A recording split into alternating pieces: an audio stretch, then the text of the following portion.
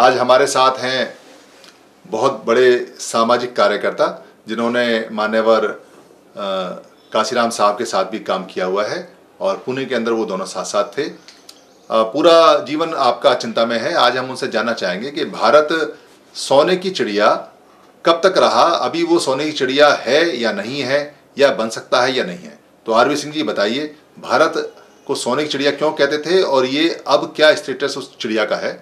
जानकारी दें।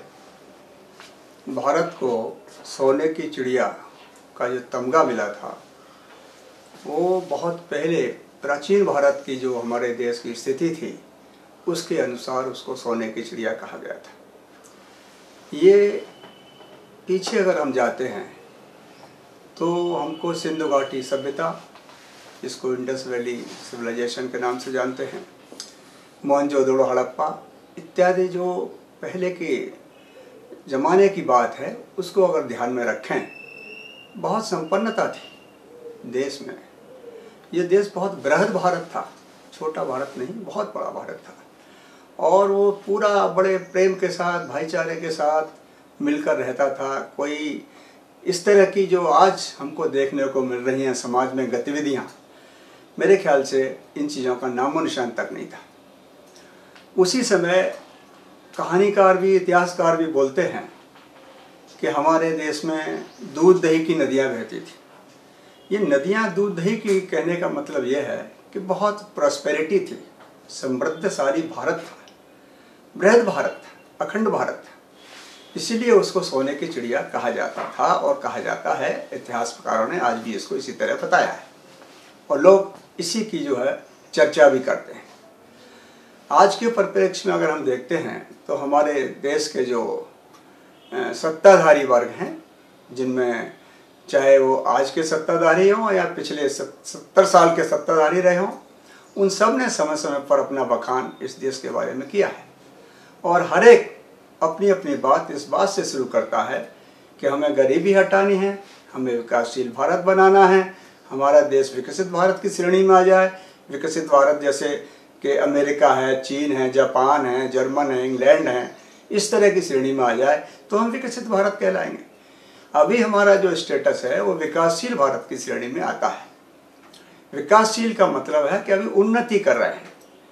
अब यहाँ पर सवाल पैदा ये होता है कि जब सोने की चिड़िया यह भारत था, और एकदम फिर हम उसको विकासशील भारत बनाने जा रहे हैं, विकास करने जा रहे हैं, इसका क्या मतलब है? इसका मतलब है कि बीच में कुछ गड़बड़ी हुई है। और वो बीच की गड़बड़ी। मेरे ख्याल से दो तीन हज़ार सालों का भारत का इतिहास है, जो लोग जानते हैं, पढ़ते हैं, समझते हैं इस बात को कि कहाँ कहाँ कितनी उथल पुथल हुई। इसके बारे में इतिहासकार ले लीजिए, या समाजशास्त्री ले लीजिए, या कोई भी विद्वानों के आप अगर लेख और उनकी बातें को पढ़ेंगे, सोचेंगे, समझेंगे तो समझ में आ जाएगा। अब सवाल पैदा ये होता है कि आज इस देश में जो हमारे सत्ताधारी वर्ग हैं, जिसमें से मैं पर्टिकुलर नाम लेता हूँ, जिसमें सर मोदी, जो हमारे देश के प्रधानमंत्री हैं। देश में करीब चार पाँच साल पहले इन्होंने बागडोर संभाली थी, और उस संभाली हुई बागडोर से आज तक वो उसी रटंत विद्यापत विद्यमान हैं कि हम देश को समृद्धशाली बनाएँगे। लाखों करोड़ रुपया तो मेरे ख्याल से एडवर्टाइजमेंट में ही खर्च हो गया। ये एडवर्टाइजमेंट से सोने की चिड़िया नहीं हो जाएगा। यह एडवर्टाइजमेंट हम दिखा दें, कहीं लिख के दिखा दें तो उससे हमारा समृद्ध भारत नहीं हो जाएगा। असल में समृद्ध भारत, सोने की चिड़िया, विकासशील भारत या सबका साथ, सबका विकास। आज पाँच साल में क्या क्या उन्होंने अपने भाषण दिए थे, वो आज जो के तो रिपीट हो रहे हैं। थोड़ा बहुत उन्नीस बीस कहीं हुआ हो तो मैं नहीं कह सकता, लेकिन कुल मिला के, जैसे स्वच्छ भारत का उदाहरण ले लीजिए। कितना वावेला मचा था इस पॉइंट पर। कितना दिखावा किया गया था। झाड़ू ले लेके सारे के सारे नेता जो है उतर गए थे मैदान में। लेकिन आज गंदगी का आलम। मेरे ख्याल से आप सब लोग देख रहे हैं। चाहे वो देश की राजधानी कैपिटल हो, वहाँ भी गंदगी की इतनी इतनी ढेर लगे हुए हैं कि आप उसका अंदाज़ा नहीं लगा सकते। तो ये हालत तो हमारे स्वच्छ भारत का है। समृद्ध भारत का लोग बड़े बड़े उदाहरण देते हैं कि साहब, हमारा देश तो बहुत आगे आ गया। पिछली गवर्नमेंट ने, कांग्रेस की गवर्नमेंट ने, जो भी गवर्नमेंट ने कुछ काम नहीं किया, अब सिर्फ़ हम ही काम कर रहे हैं। बहुत अच्छी बात है, आप काम कर रहे हैं, लेकिन काम होता हुआ देखना चाहिए। काम कर रहे हैं, कहने से काम नहीं होगा। अगर पब्लिक को दिखता है कि काम हुआ तो बहुत अच्छी बात है। अब दिखाने को लोग बोल देते हैं, देखो, इतनी सड़कें बना दी, इतने हवाई जहाज़ आ गए, इतने मोबाइल, हमने फैक्ट्रियाँ बना दी। ये विकास की दौड़ में कुछ बहुत ही छोटी सी चीज़ है। एक्चुअली देश का विकास और देश का समृद्धशाली बनाना और देश को सोने की चिड़िया कहना डिपेंड करता है कि उस देश की सांस्कृतिक और राजनीतिक और सामाजिक नीति और रीति क्या है। लोगों की नीयत में कितना फ़र्क पड़ा है। बहुत पहले जब अच्छी नीयत थी, बीच में इतनी खराब क्यों हुई? उस नीति और नीयत को बदलाव लाने के लिए इस देश में सबसे गरीब और एक लास्ट मैन जिसको बोलते हैं जिसको दो सा, दो वक्त की रोटी भी मैसर नहीं है, उस आदमी के लिए अगर रोटी नहीं है, बच्चों को पढ़ने के लिए शिक्षा नहीं है, और पढ़े हुए बच्चों को उनको देने के लिए रोज़गार नहीं है, लोगों की सुरक्षा का कोई सवाल ही पैदा नहीं है, सरेआम आजकल क्या क्या हो रहा है देखने को मिल रहा है। और स्वास्थ्य सुविधाओं का हालत भी कोई छुपा नहीं है। सारा का सारा काम इस देश में जो हुआ है, वो बड़ा ही दयनीय स्थिति में है। साफ़ तौर पर मैं कहना चाहूँगा, ऐसा क्यों हुआ? ऐसा होने के पीछे कारण एक ही है और सिर्फ़ एक ही है मेरे राय में। लोग तो बहुत कारण बता सकते हैं, लेकिन वो बताते रहें। मुझे जो दिख रहा है, वो एक ही उसका कारण नज़र आ रहा है।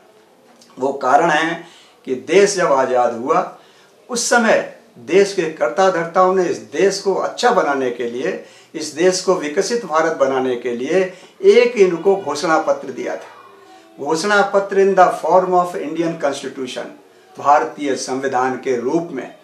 वो भारतीय संविधान का प्रियम्बल जब मैं पढ़ता हूँ, जब लोग बताते हैं तो उसमें ही सारी की सारी चीज़ें वो हैं जो लोग भाषण देते थकते नहीं हैं।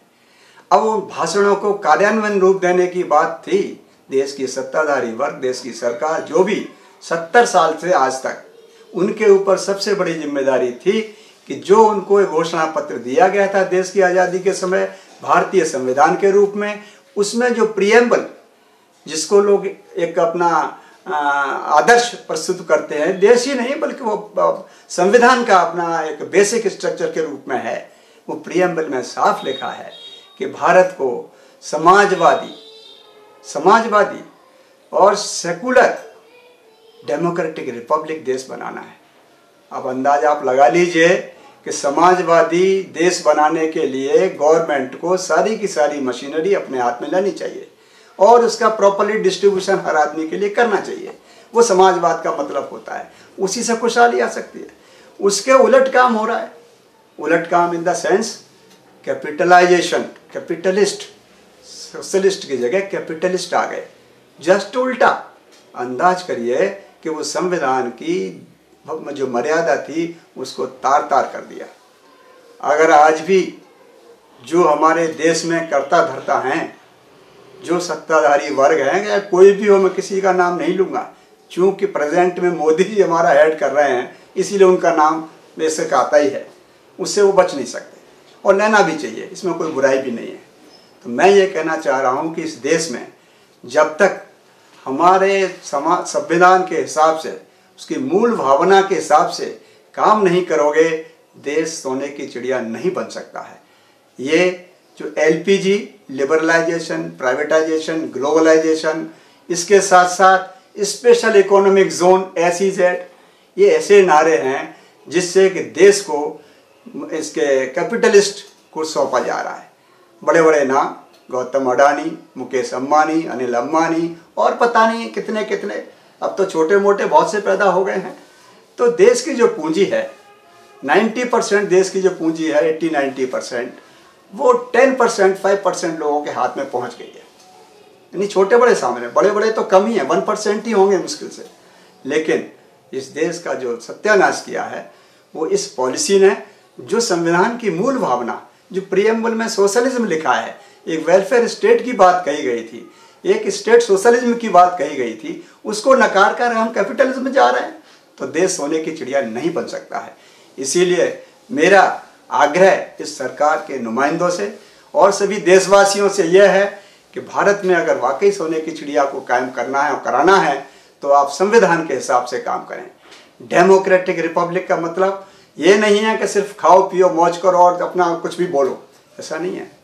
भारत देश में भाईचारा मित्रता इक्वलिटी इसको समानता बोलते हैं, स्वतंत्रता कहने की, रहने की, खाने पीने की, ये सब होना चाहिए। तभी कहेंगे आप कि देश में कुछ हुआ। आज तो पाबंदियों का दौर है। खाने पर पाबंदी, पहनने पर पाबंदी, रहने पर पाबंदी, जाने आने पर ये व्हाट इज़ दिस सबसे ज़्यादा फ्रीडम ऑफ़ एक्सप्रेशन ताला लगा दिया गया है। मीडिया जिसको हम बोलते हैं, वो अच्छा काम करेगा। फोर्थ स्टेट होता है, एक डेमोक्रेसी का, एक देश का, सरकार का, वो उसको भी ताला लगा दिया गया है। तो क्या क्या हो रहा है? मेरी समझ में नहीं आ रहा। तो मैं तो अपील यही करना चाहता हूँ अपने सभी देशवासियों से और देश के कर्णधारों से कि इस भारत को सोने की चिड़िया बनाने की कोशिश अगर करनी है, विकसित भारत अगर करना है तो सबका साथ, सबका विकास के नारे की जगह पे भारत के संविधान की जो अच्छी अच्छी धारणा है, मूल धारणा है, उन पर गौर करें, तभी हमारा देश सोने की चिड़िया बना रहेगा। धन्यवाद।